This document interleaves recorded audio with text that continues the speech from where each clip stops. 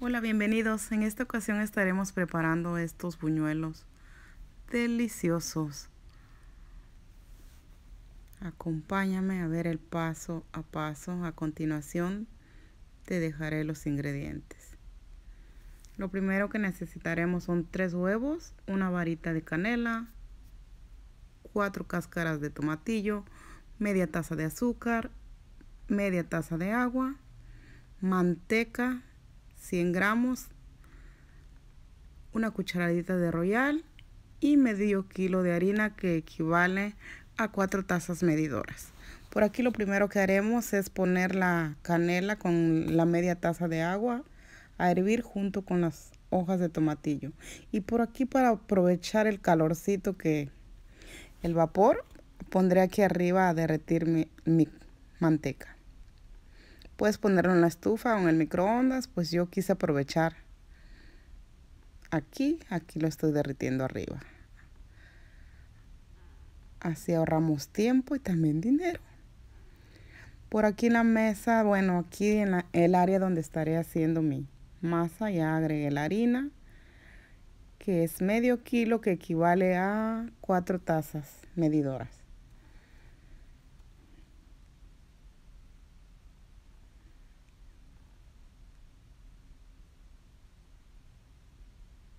Por aquí estoy agregando el azúcar, que es media taza de azúcar.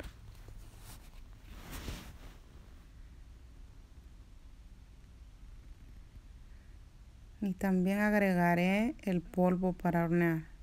Es una cucharadita de cafetera, ¿ok? Mezclamos. Esto lo estoy haciendo así porque estoy grabando, pero tu caso, si estás en tu casa ya haciéndolo, puedes con las dos manos ir incorporando todos los ingredientes que estaremos agregando. A continuación lo que agregaré serán los tres huevos.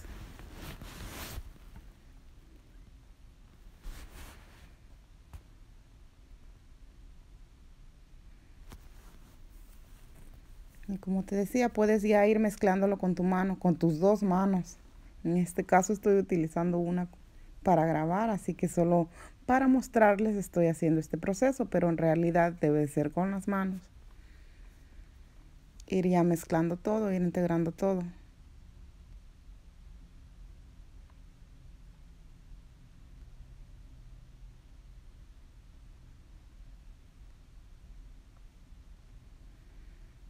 Incorporamos muy bien nuestro huevo para ir agregando nuestra manteca y el agüita que salió de la canela y las cuatro hojitas de tomatillo.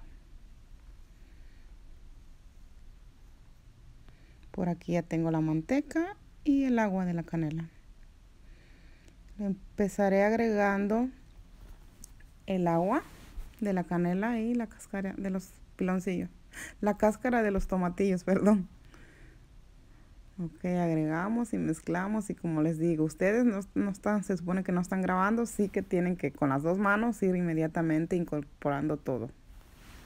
Aquí solo lo estoy haciendo así para mostrarles, pero más adelantito pues dejaré la cámara para seguir amasando mi harina.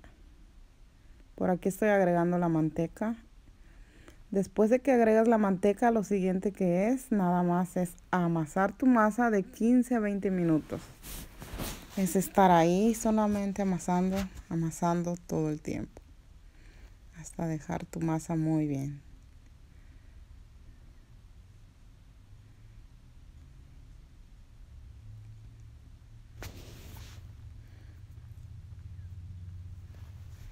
Te recomiendo que hagas estos buñuelos, son de una forma muy sencilla, rápida de preparar.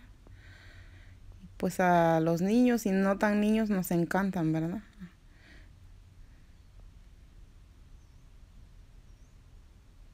Me incluyo porque a mí me gustan. Así que aquí estamos ya incorporando muy bien nuestros ingredientes. Continuamos.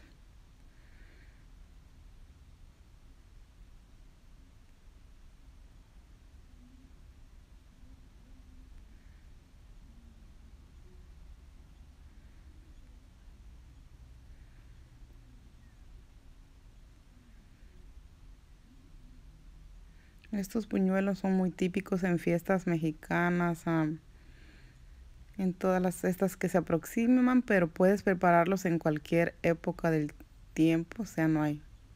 Tú los puedes hacer y disfrutar de ellos. Por aquí estoy amasando ya así, con ganas, con ganas, unos 15, 20 minutos hacemos esto. Y cuando ya tengamos lista nuestra masa, la llevaremos a reposar por yo la dejé reposando por cuatro horas. Puedes dejarla toda la noche si gustas o el tiempo que tú prefieras o si no tienes tiempo de dejarla, también puedes empezarlos a hacer inmediatamente. Yo le, la dejaré reposando por cuatro horas. La ponemos y ya solo agregamos un poquito de manteca a la parte de arriba y tapamos y dejamos ahí reposando nuestra harina. Por aquí ya pasaron las cuatro horas. Lo siguiente que haré es darle una pequeña masajeadita. Miren la textura, se mira muy muy bien. Ya quedó nuestra harina. Por aquí cortaremos nuestros pedacitos. El tamaño es el que tú decidas. Tú pones el tamaño de tus buñuelos. En mi caso yo los hice pequeños, no son muy grandes. Así que con esta harina para mí me salieron de, salen aproximadamente de 30 a 40 buñuelos, pero dependiendo también el tamaño que los vas a hacer, ¿verdad? Yo los hice de un tamaño mediano, no muy grande. Así que solo estaré haciendo una parte y la restante harina la utilizaré para hacer algo más. Así es como ya están quedando nuestros buñuelos. Son sencillos de hacer, la verdad. Si no tienes un rodillo, puedes hacerlo con una botella también o simplemente estirarlo con tus manos. También se puede.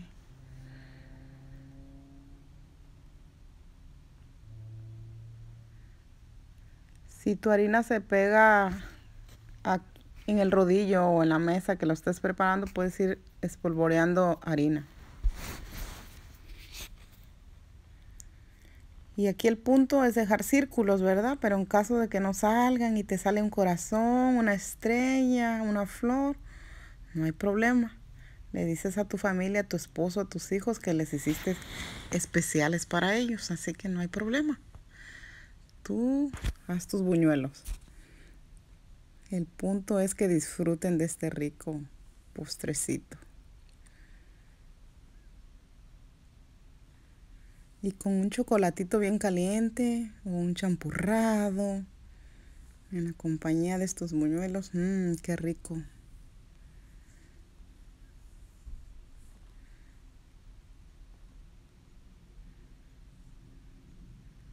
Así es como me están quedando. No, no están perfectos, pero la idea es esa. Ahí están. Si tienes una área para dejarlos reposar un poquito, puedes irlos dejando como alrededor de tu mesa también, mientras que continúas haciendo los demás, así al final ya terminas de hacer todos y empiezas por el primero que colgaste para que esté reposada un poquito más marina. Y por aquí ya tengo mi aceite caliente y empezaremos a agregar nuestros ricos buñuelos.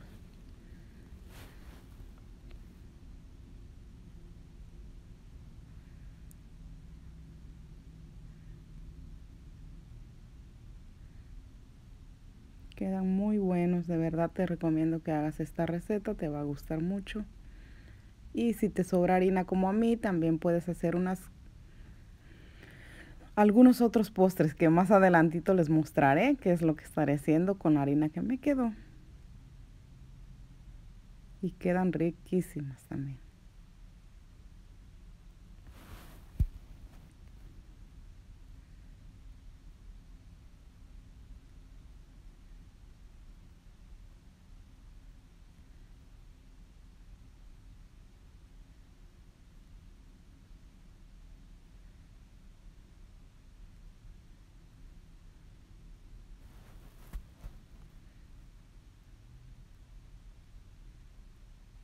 Así es como. Te recomiendo que siempre utilices dos palitas o dos tenedores para poder manejar mejor la situación aquí a la hora de voltearlos y de sacarlos, de escurrirlos un poquito y después llevarlos a un plato con una servilleta absorbente para que al retirar un poquito de su grasa, ¿verdad? Que la verdad pues no es tanta la que se queda en la servilleta. Por aquí están mis buñuelos, solo le agregué azúcar, tú puedes agregarle canela, miel, lo que tú prefieras. Esto es a tu gusto. Yo solo les puse azúcar, pero también puedes agregar canela, mixtear canela y azúcar y agregárselo.